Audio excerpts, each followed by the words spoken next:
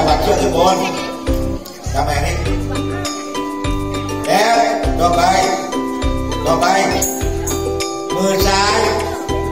เมื่อกี้ขวาไปทางซ้าย ต่อไปมือซ้ายมาทางขวาและจังหวัดเชือกมันจะลงอย่างนี้นะครับ